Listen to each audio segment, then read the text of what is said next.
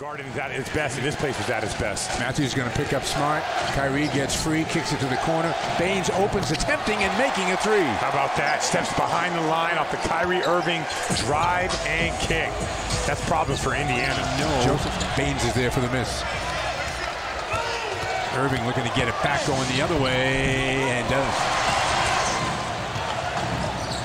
Irving the pull up this time. Got it. that time they did load up. Miles Turner looked one second down to the ground. Kyrie Irving rises up and 6'3 right in his face. That's something as Celtics, you gotta, gotta keep your head on a swivel. Irving gets a little daylight, able to take the shot.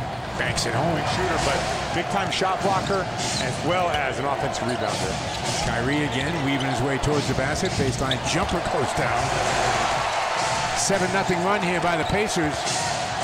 Irving answers. And that's what Kyrie Irving needs to do.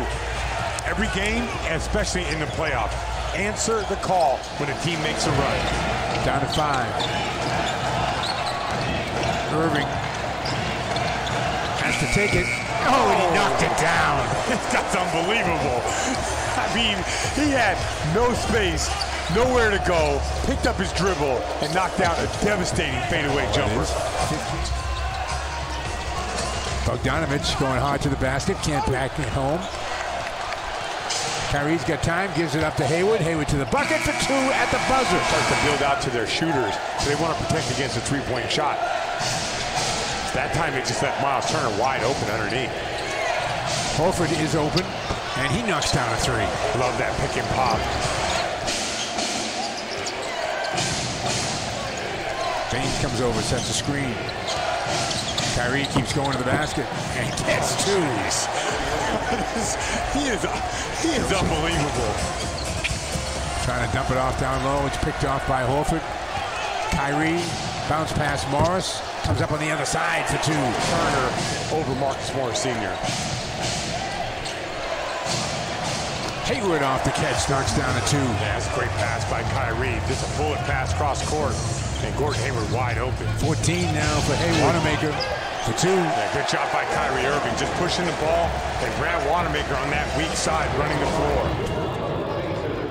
Kyrie, it felt like this game had a little extra juice in it. It was game 80, but was this like a playoff atmosphere out there? Yeah, it was sort of like that, but uh, we know how, well, I, I, mean, I know how loud this building gets, uh, you know, during the playoffs, so it had that feel tonight, but, um, you know, we just want to come out here and compete.